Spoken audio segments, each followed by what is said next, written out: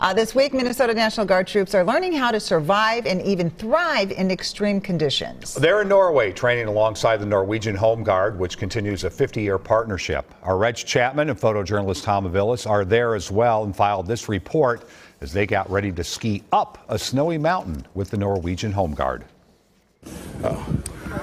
Okay, what's your name, man? I'm Hayden Nelson. Where are you from, Hayden? I'm from Roseville, Minnesota. Roseville, Minnesota. Why are you strapped with all the equipment? I'm, are you the best skier? Is that what I, you're doing? I just must be.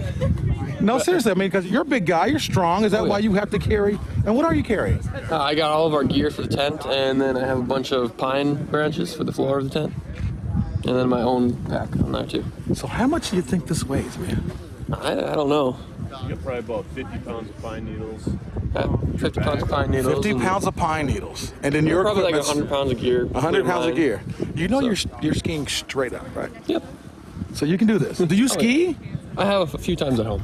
at home? Yeah. Just a couple times. Just a couple. Like, Anything like this? Like four. Not like this, no. What's your biggest fear? We, they picked I don't know. I'm not really scared of any of this. I'm excited. I love it. I love it. See, Minnesota, we got the biggest and brightest and best out here in Norway, showing them how to do, right?